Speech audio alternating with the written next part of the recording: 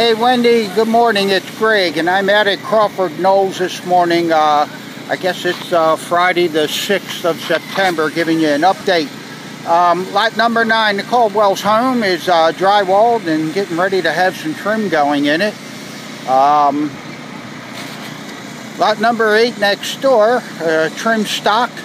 We should be in there trimming uh, this weekend, it looks like you know, going around next to that, we have lot number seven. Um, mechanicals are going in there, electric's being roughed in. You know, lot number six should be going under roof here, uh, if not today, probably over the weekend, first of the week, but they're working on that now. Uh, lot number five's in mechanical stage. We're waiting for some sprinkler inspection so we can get that into insulation and drywall. Uh, lot number four next to that's pretty much in the same situation as five. Um, mechanicals are in there with the electrician and everybody finished waiting for some sprinkler inspections. Um, lot number three, uh, you know, trusses are on site. We're waiting for a crane to get that one set and getting that ready to go also. Um, as you can see, if you look past lot number three, you'll see that foundation down the bottom for lot number one that's installed. Uh, that went in this week. We get a seven-day strength. Towards the end of next week, we should be down there, um, you know, backfilling that foundation.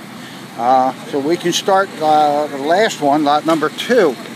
Um, going across the street, the foundation has been installed for lot number 14. I think that was poured yesterday, so that'll need a seven-day strength so we can backfill that and get moving, you know. Next to uh, 14, we have 13, which is uh, sidings going up on that now. Interior is uh, mechanical stages, electric work's done. I think we're waiting for a sprinkler inspection on that too. Um, lot number 12 is in mechanical stage being worked on. Siding's completed on that. Hopefully some stone going up on that one next week. Um, lot number 11 is really looking great. They're in there setting cabinets in that house today. The hardwood floors are installed. Um, and then up next to number, uh, I'm sorry, that was lot 11 where the um, cabinets are being installed. And then not number 10 next to that, uh, you know, it's all framed out and the plumber's in there working today, uh, starting the plumbing rough in.